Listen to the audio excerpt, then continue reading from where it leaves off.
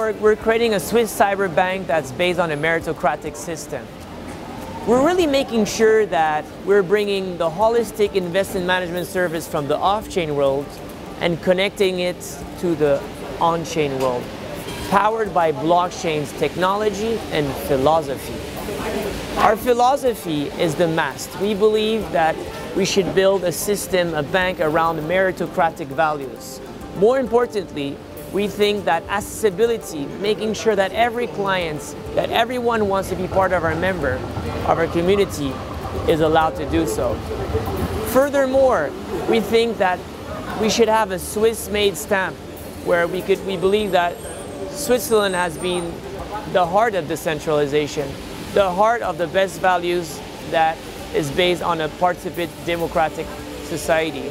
And all this enlarged by the trust service that we're doing and the alignments between clients, portfolio management, and other people within our community. How would we put this into practice? Is through our CADO business practice, which is customization, automation, decentralization, and obviously optimization.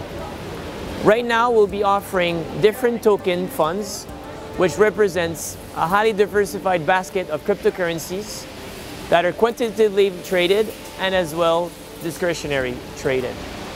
Going forward for off-chain investors, and make sure that we're, we're, we're creating this bridge between both worlds, and for that we'll be offering onshore vehicles uh, that will be based in Malta, uh, which will be an indi indice of cryptocurrency blockchain.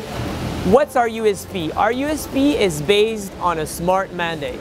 What's a smart mandate? Until today, on the regular private banking and the banking world, we have investment mandates. But we wanted to take blockchain and to make sure that our clients have even a better customized version of this, of this vehicle. It's called a smart mandate. A smart mandate, it's a token that each client will have under his name. It will be 100% customized he'll be able to do whatsoever he wants with it. And it will be based on four different pillars. The number one is the digital ID.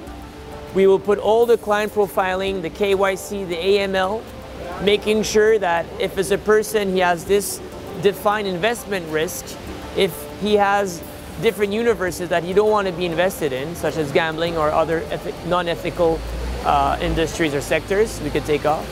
We'll make sure that that will then transform into his investment mandate. The, the, the pillar number two is about token management. The, the pillar number three is about wealth management services such as portfolio management, risk management, taxation. And the number four is all about uh, the other, other activities I'll be offering on wealth management services such as payment solution, digital exchange, and other uh, legal uh, implications that you'll have within our platform guys for this interview. Um, if you want to contact us and uh, want to reshape the new financial era, uh, please uh, go on our different social medias. Um, you could always uh, join us as well at our different meetups that we organize at the end of the month, which are in Geneva, Lausanne, Monaco, and Paris. We'll be very happy to uh, share our knowledge and to share our community as well. Um, thank you as well to Swiss FinTech Association. They're doing a great job for many years right now, helping uh, young entrepreneurs and fintechs to be connected around Switzerland. Um, they're doing a great job, so please join them and be a member as well. Uh, looking forward to uh, be in touch with you guys and talk to you soon. Bye.